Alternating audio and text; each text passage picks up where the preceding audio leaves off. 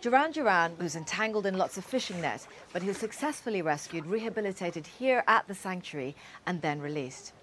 Sadly, though, a few weeks ago, he was found dead on a beach, entangled again in nets. A post-mortem revealed that he had a chest infection.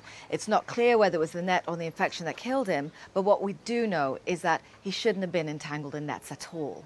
But there are people out there doing some unbelievably encouraging work to tackle this problem of discarded fishing nets. Ghost gear, ghost nets, are essentially discarded, abandoned, or just lost fishing gear that just carries on drifting in the ocean currents and doing what it was designed to do trapping, entangling, and snaring marine life.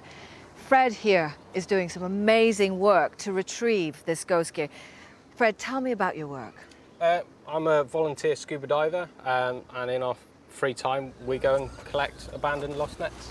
okay, you make that sound easy, but it's not, is it? No, it's not. There's a lot of planning and a lot of pre-dives before we can go and retrieve it. Right. So let's think about what sort of depths are you diving down to in order uh, to retrieve this gear? This net it was recovered from 27 metres. Wow, so this is just from one hole? Yeah, one hole was that one. Yeah. So one of the things as a diver myself, I get asked is, oh, am I afraid of the marine life? No, I, am afraid of this stuff. I mean, I imagine it's high risk stuff. How do you go about doing it? Entanglement is a, a huge risk to scuba divers. Uh, again, it's another reason to get rid of it out of the ocean. Um, we always work in teams of three, so you've got a, a worker, an assistant, and Overwatch, making sure that everybody's safe.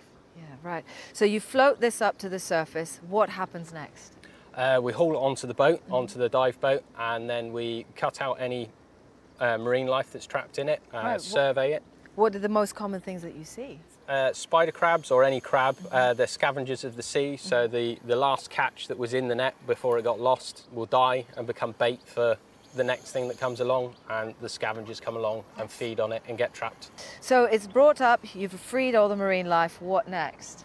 Uh, we recycle it. We don't want to put it into landfill because uh, that's just a future problem. So we we work with our partners uh, to get it recycled into new material. Mm -hmm. We have oh, wow. the new material here. This is the, the new plastic nurdles. They can be made into anything. So these are like nurdles. These are like the building blocks of all plastic yep.